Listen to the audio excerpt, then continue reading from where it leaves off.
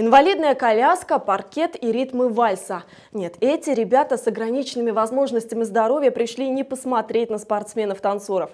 Они сами могут дать фору любому. Сегодня танцоров-колясочников в набережных Челнах 8.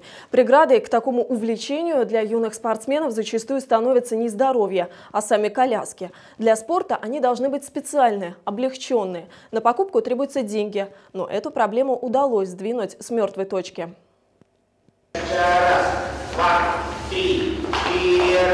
Сейчас ребята уже намного увереннее чувствуют себя на паркете, все благодаря постоянным тренировкам. Ну и на первом, пока единственном своем выступлении в рамках большого вальса в грязь лицом не ударили. Хоть и танцевали тогда на тяжелых колясках, новые же открыли для них совершенно другой мир танцев. Как бы с новыми колясками новые возможности, ну, как бы для тела, оно...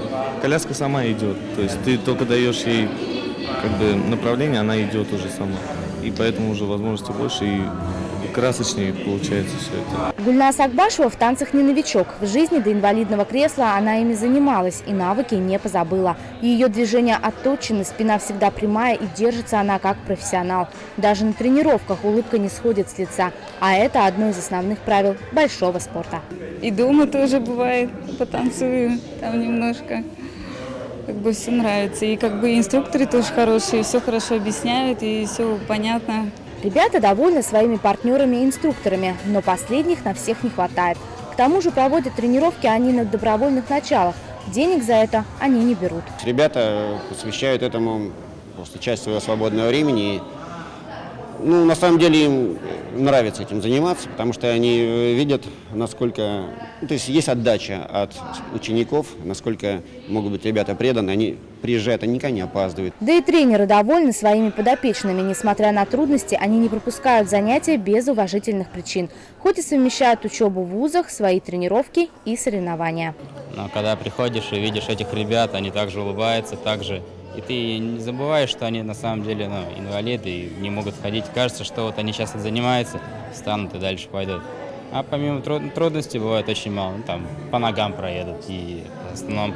И бывает тяжело как бы вести коляску. И действительно, оттоптанные ноги – капля в море проблем. Например, чтобы добраться до танцевального зала, ребятам необходимо преодолеть два этажа ступенек.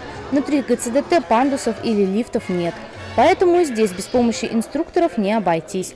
Но зато очень скоро все ребята будут танцевать в специальных колясках. Сейчас пока только половина имеет такую возможность. Городу выделяется 90 миллионов рублей. И вот в рамках этой же программы также в дальнейшем будем закупать эти коляски. И практически все желающие наши ребята с ограниченными физическими возможностями могут заниматься спортивными бальными танцами. По словам тренера, к соревнованиям уже готова одна пара. Но чтобы выступить, нужны деньги, которых пока нет. А это участие могло бы стать прорывом в развитии адаптивного спорта в набережных Челнах.